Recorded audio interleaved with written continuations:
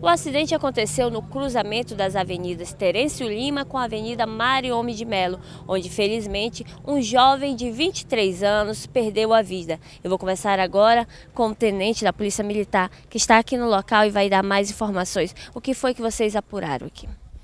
Bom, a gente foi informado na via central né, sobre esse acidente que aconteceu aqui e nos deslocamos imediatamente para acompanhar e constatamos que uh, o SAMU já estava já tinha realizado atendimento juntamente com as vítimas e uma delas já foi já chegou infelizmente a óbito, né?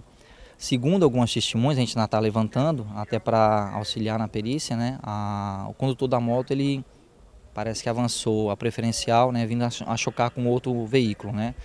Estamos aguardando agora o pessoal da perícia que já chegou para eles uh, iniciarem os trabalhos deles, né? Para ver se a gente consegue é, concluir com o nosso trabalho.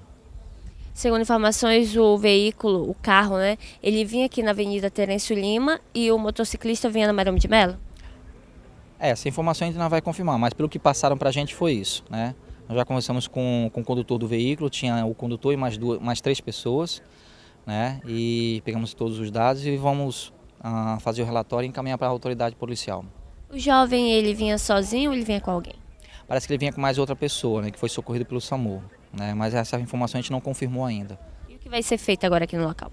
Aqui no local vai ser realizada a perícia, né, a, o recolhimento do, do material que está espalhado aqui, juntamente com o pessoal, o corpo, infelizmente, do jovem que faleceu e será encaminhado ao ML para as providências aí, juntamente com a família.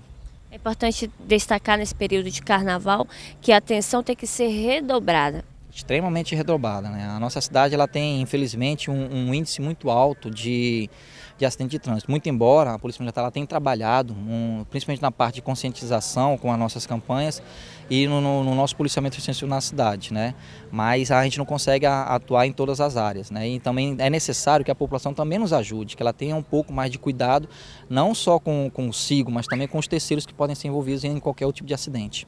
Obrigada pelas informações, tenente. Aqui no local já chegou também os familiares do jovem e também estão presentes os amigos que vinham com ele. Como os amigos mesmo estão bastante emocionados e acabaram relatando para a gente que eles vinham aqui na Marão de Melo, sentido o bairro, quando o sinal estava fechado. Então eles reduziram e o jovem, infelizmente, não conseguiu reduzir a tempo devido à velocidade e acabou colidindo aí no veículo. O jovem identificado como Rodrigo Souza, de 23 anos e é autônomo. Os familiares estão aqui desesperados ao saber da notícia. Infelizmente, é mais um jovem que perde a vida em acidentes de trânsito. Dessa vez, Rodrigo Souza, de 23 anos. Com imagens de Laurivaldo Moteiro, Daniele Carvalho.